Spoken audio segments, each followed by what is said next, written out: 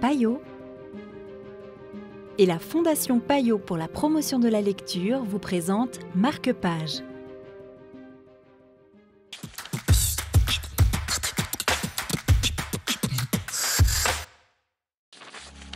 Bonjour, bienvenue dans Marque-Page.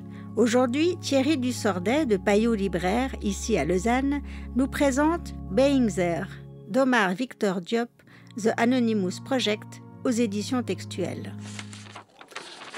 oui, alors c'est un, c'est un magnifique projet d'un photographe sénégalais, Diop, qui a l'habitude de se photographier dans des personnages historiques, et Anonymous Project, qui sont des, des photos de, de familles des familles des années 50-60. Qu'est-ce qu'il va faire avec ces photos alors? Eh bien, des, ce sont des photos où il va s'incruster de façon électronique. Mhm. Les photos datent des années 50-60. On est encore en pleine ségrégation euh, raciale, puisque les droits civils vont être acquis définitivement en 1968, donc il faudra 18 ans pour qu'ils soient activés. Alors certaines photos sont très drôles, d'autres sont très, euh, très violentes.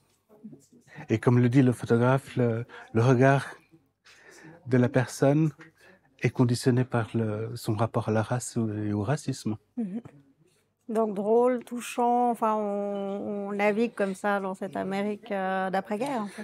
Dans cette Amérique euh, florissante où les soldats euh, afro-américains ont dû rejoindre les, les, zones qui leur étaient réservées. Mhm.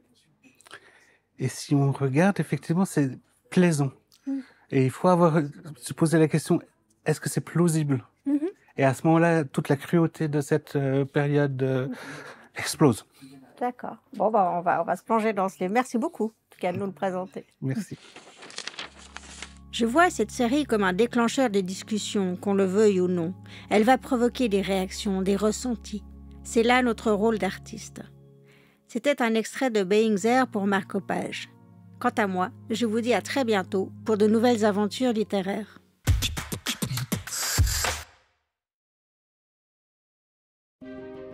Payot et la Fondation Payot pour la promotion de la lecture vous ont présenté Marque-Page.